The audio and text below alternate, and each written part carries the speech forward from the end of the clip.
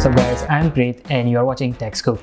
In my previous video, I shared a few tips to reduce 100% disk usage problem on Windows 10.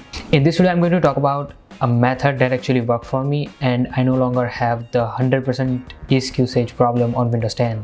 But first, if you haven't subscribed to our channel, I recommend you to subscribe it. So let's get started. Do you have Intel Rapid Storage Technology driver installed on your system? If yes, then uninstall it. IRST, which stands for Intel Rapid Storage Technology, is a storage driver developed by Intel for use with variety of storage such as RAID and SATA drives. Modern operating systems such as Windows 10 no longer require IRST driver and can manage such configurations out of the box. If you happen to have the IRST driver installed, you can uninstall it to see if it reduces the 100% disk usage problem on Windows 10. So how to uninstall IRST? It's very simple.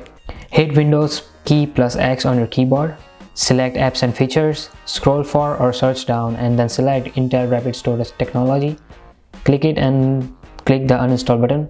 Click, click next to uninstall it.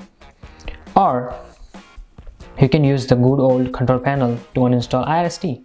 Let me know in the comments below if that worked for you. Also, if you have any questions, post them in the comment section below. Like and share this video. Don't forget to subscribe and hit that bell icon to get notified. Thank you and I'll see you in the next video.